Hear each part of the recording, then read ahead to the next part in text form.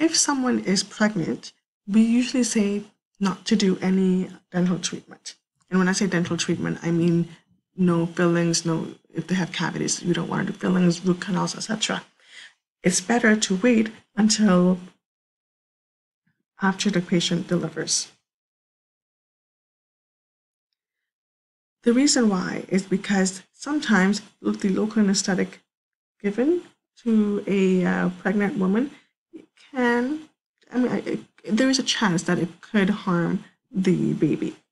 And so, really, the safest one that they could take, that the if they had to do any dental work, the safest local anesthetic that a pregnant woman can take is lidocaine or even prilocaine because they fall under category B. So category A means they're completely safe.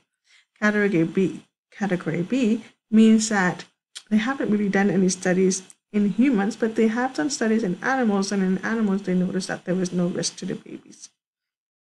And then these ones are category C, and this is where no studies have been, you know, done on animals or humans, so we don't even know if they're safe. And hence, we say don't even bother using any of these local anesthetics, just use lidocaine or prilocaine.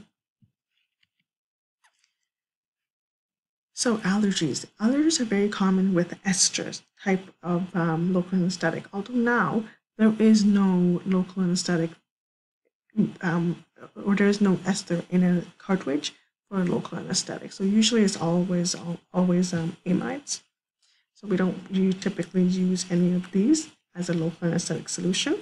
We may use it as a topical. So benzocaine is a very common one that we use as a topical. And a topical is um, what you kind of rub into the gum. So it's like a cream that you just rub into a gum with a cotton tip applicator. And it just numbs the area slightly so that when the needle enters, you don't feel it as much. If someone is allergic to an amide or an ester, then there is a local anesthetic that could be given. It's like a Benadryl, and it basically diminishes that allergy. So this is a cartridge. When I say cartridge, this is what I refer to. So the lidocaine um, is in a cartridge, and it's in it's basically a solution that's inside a cartridge. And here you can, if you look really carefully, it says there's lidocaine and there's also epinephrine, and epinephrine is a vasoconstrictor. Remember, we were saying that a vasoconstrictor constricts or closes slightly the um, blood vessels so that the solution or the local anesthetic can stay there for a longer period of time.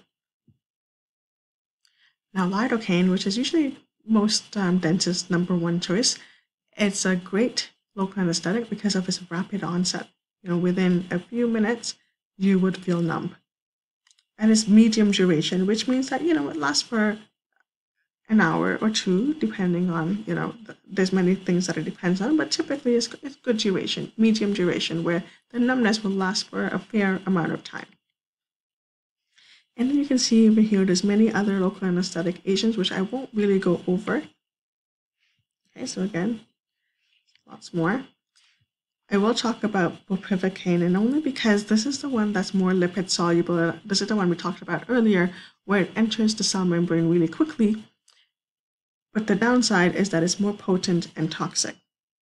The advantage, however, is that it stays in your or in the area for a longer period of time. So if you have a long dental procedure, which is more than 1.5 hours, or if you have a procedure where after you're going to feel a lot of pain, then maybe the dentist will, you know, inject this type of local anesthetic because of its long duration of action, because it stays in that area for a long period of time, because you would stay numb for a long period of time, and, and staying numb for a long period of time may be helpful, especially in a situation like this. So benzocaine, this is an ester, is commonly commonly used topically. So this is just for topical. It's not available in a dental cartridge.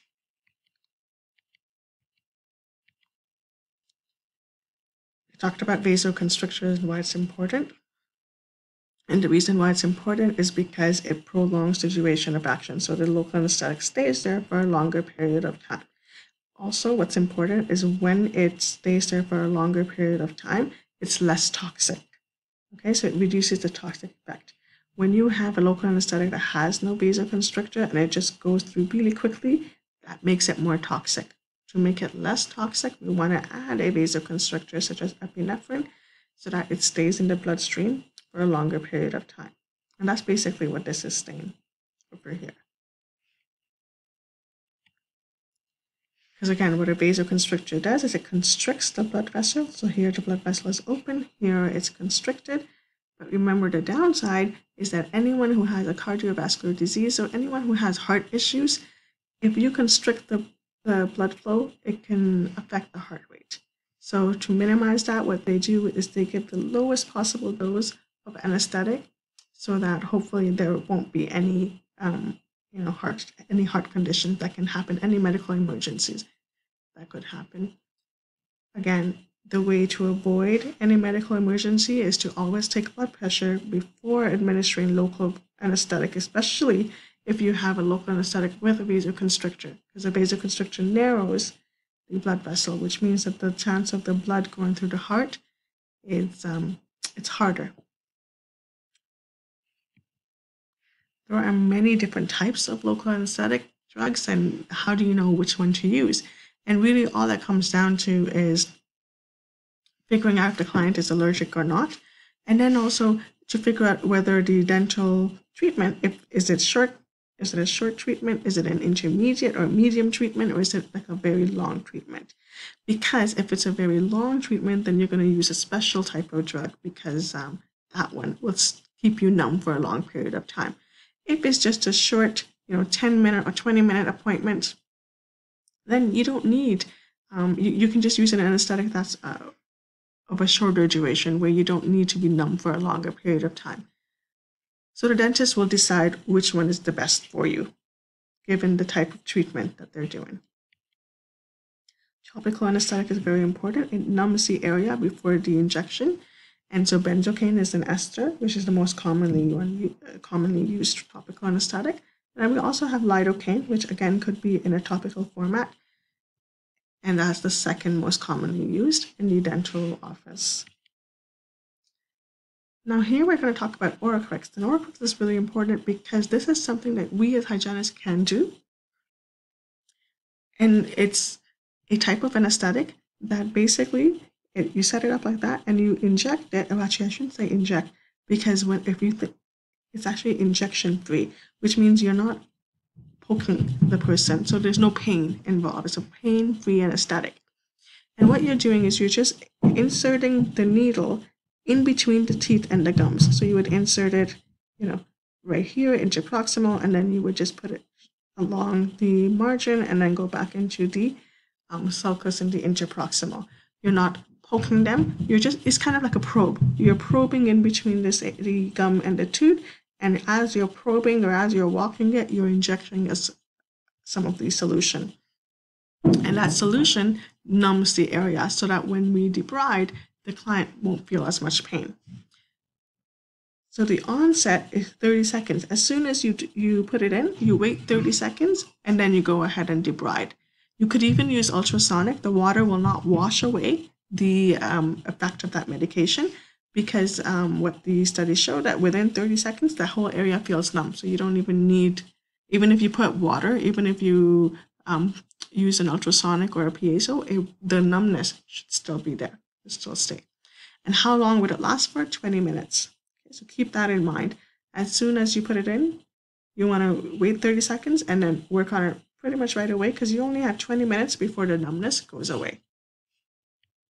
Here is a video that I encourage you guys to watch. Now I have to warn you, it is a long video, it's 24 minutes long, but the content that's covered in that video is really important because you will need to know all that content for when you're in clinic and when um, you're using the Oraqix solution. Another type of pain-free anesthetic is Cetacaine. And Cetacaine works very similar to um, Orocrix, it just has different ingredients. And again, you do the same thing. It comes in a liquid format. You get a disposable syringe where you inject the liquid into that, and you kind of, it's like a probe. You put it inside the sulcus and you inject it into the areas that very sensitive for the client. And it's supposed to numb the area. Okay, I hope you enjoyed this lecture. If you have any questions, always um, feel free to ask me.